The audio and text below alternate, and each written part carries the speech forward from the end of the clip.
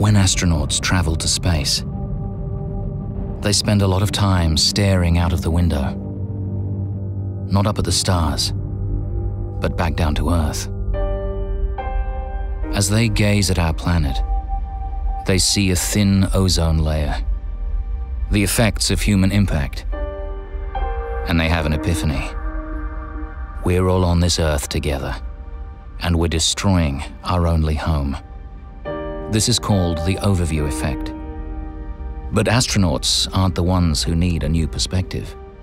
Astronauts don't write our laws, and astronauts don't create the policies that can protect our planet. Our politicians do. Despite 97% of scientists agreeing climate change is real, some of the world's most influential leaders still don't get it. And their ignorance has the power to damage the planet.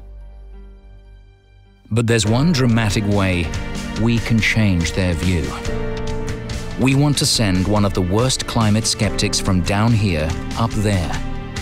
And that's where you come in.